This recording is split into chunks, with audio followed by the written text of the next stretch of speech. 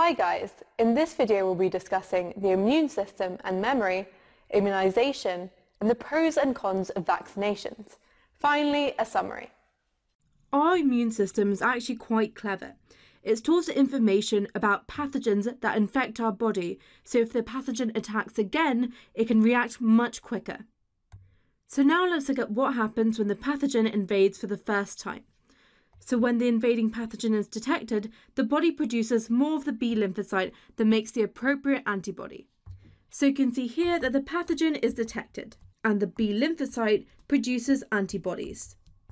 These are specific to this pathogen. After this, the body increases the number of this B lymphocyte as it produces the right antibody. However, this can take quite some time. Producing more B lymphocytes that produce the right antibody to overcome the infection takes days, and during this time, the person can develop symptoms.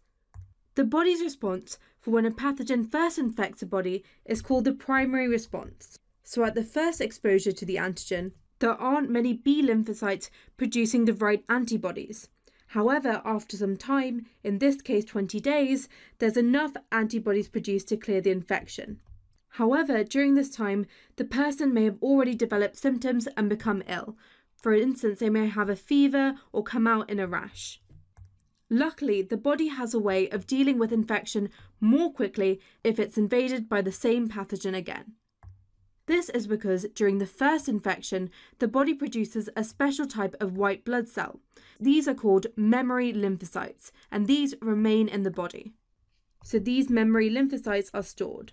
Hey guys, to continue watching this video and unlock hundreds of other super concise and exam board specific GCSE biology and combined science videos, just click the Snap Revise smiley face. Join me today and together let's make biology at GCSE a walk in the park.